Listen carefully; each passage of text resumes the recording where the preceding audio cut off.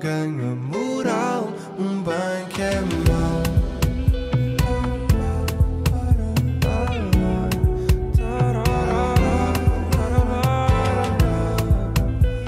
Então me deixa te